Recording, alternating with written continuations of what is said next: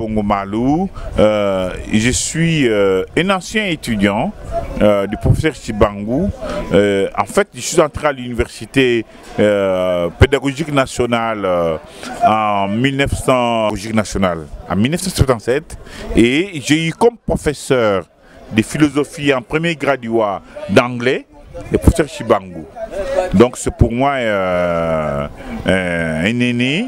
Et ce qui est curieux que euh, après avoir terminé mes études à l'Université pédagogique nationale, où je suis sorti avec un diplôme de professeur d'anglais, je suis allé moi-même faire la, philosophie à l'université catholique, puis à l'université chez Cantadiop, et puis je suis rentré et j'ai trouvé le professeur Chibangu comme euh, mon chef de département euh, en communication à l'université pédagogique euh, nationale. Donc pour moi, Chibangu ne, ne, représente pas ces, ces monuments d'abord parce que ce sont les Chibangu, comme Chibangu Kishiku, comme Chibangu professeur et tout, qui ont, et Untundi et les autres, qui ont fait que l'Afrique est aujourd'hui la philosophie.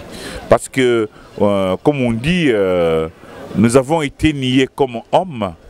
Et pour nous faire de nous comme hommes, ce sont les, les les Chibangu qui ont, euh, par leurs études, par leur production, fait remarquer que effectivement l'Afrique a une philosophie, donc une autonomie de pensée, une autonomie de, de se conduire de faire le monde.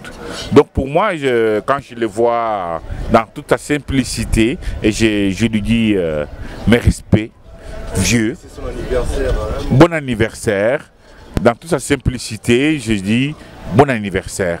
Nous, nous vous aimons et que Dieu vous garde pour nous depuis euh, aussi longtemps que possible.